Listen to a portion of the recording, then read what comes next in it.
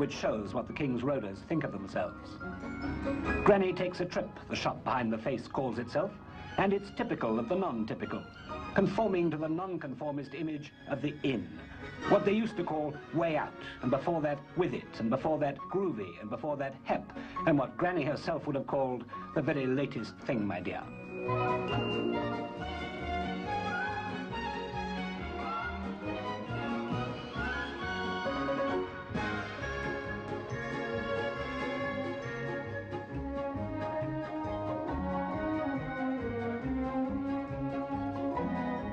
Maybe the toy car's a key. Childhood, innocence at war with a hard adult world, the fun of dressing up.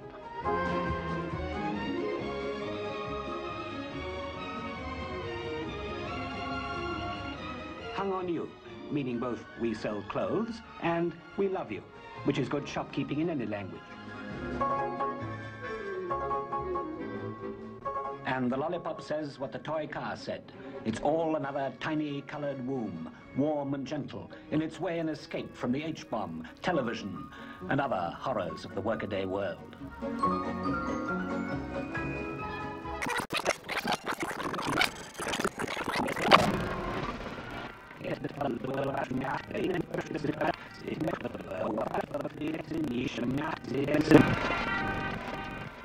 Anybody addressed as madam would probably sue for defamation of character.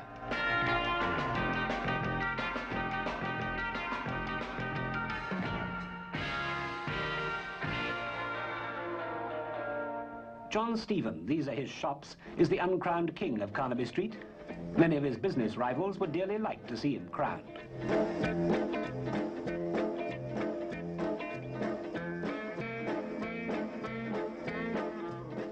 The return of the Dickie, for the man who can't afford